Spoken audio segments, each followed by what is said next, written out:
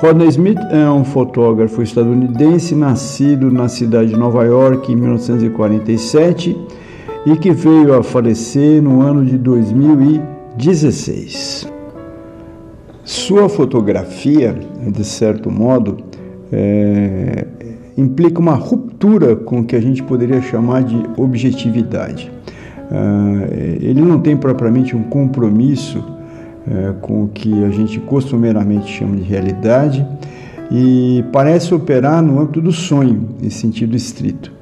É, essa prática e esse aspecto conceitual da fotografia de Smith é, é algo de muito interessante porque é, cria uma outra alternativa para a compreensão do fenômeno fotográfico, visto que, como regra, as pessoas o entendem no contexto de de uma espécie de registro da realidade imediata, né? como se ele desse prova, como se a fotografia desse prova de um determinado ocorrido.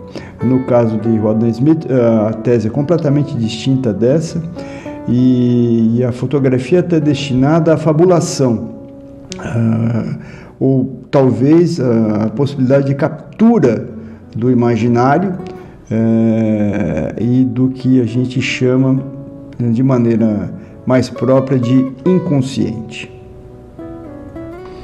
Além disso, vocês vão ter a oportunidade de ver no slideshow é, que há uma beleza plástica uh, incrível nas fotos do Rodney Smith, uh, além do que ele é uma espécie de mestre uh, na composição da cena. Né?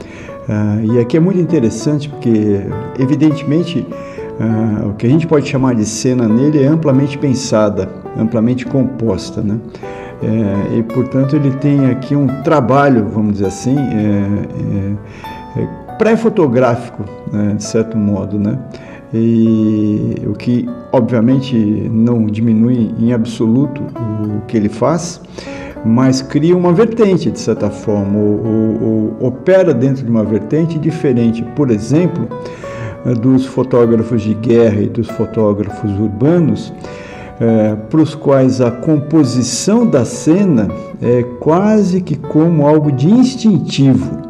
É, a se ver, por exemplo, por Robert Capa, que a, ah, deu muita potência a determinadas imagens ao conseguir, de maneira instantânea, retratar uma situação é que, para além do fato objetivo a que ela se relaciona, é, compõe alguma coisa de, uma, de um sublime né? É, muito significativo. Aqui, já no sentido de concluir essa pequena apreciação sobre a obra do fotógrafo, eu quero fazer uma remissão ao seu próprio site para tentar qualificar de forma tão precisa quanto possível a natureza do seu trabalho. Então, no site se diz o seguinte: fotógrafo proeminente, cujo trabalho caprichoso é, o leva a ser comparado ao pintor René Magritte. Há muito aclamado por suas imagens icônicas em preto e branco que combinam retratos e paisagens, Smith criou mundos encantados e cheios de contradições é, sutis e surpresas. Usando apenas filme e luz, suas imagens oníricas e não retocadas são igualadas em qualidades pela arte e beleza física de suas impressões.